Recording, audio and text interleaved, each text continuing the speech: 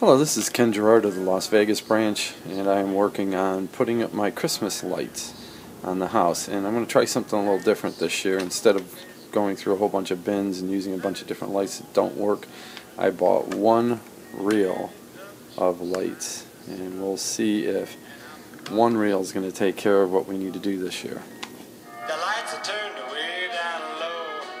Let it snow, finally kiss goodnight,